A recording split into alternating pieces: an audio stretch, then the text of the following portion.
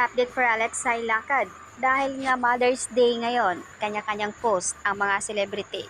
Tulad nila ni Alexa and Kiddy sa kanilang uh, IG story kung saan ipinost ang kanilang mami, Alexa Ilacad.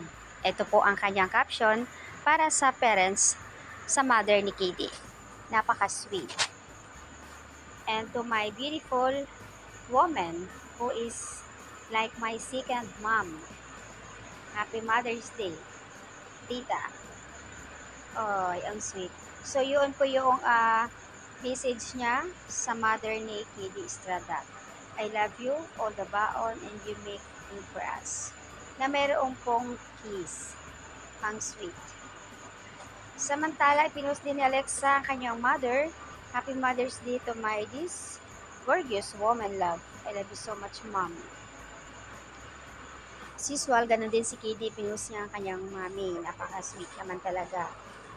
Pero dito kinikilig ang mga netizens sa post ni Alexa, second mom, si Tita Grace. Wow, ang sweet. So, ayan po yung update ng ating Kidilex.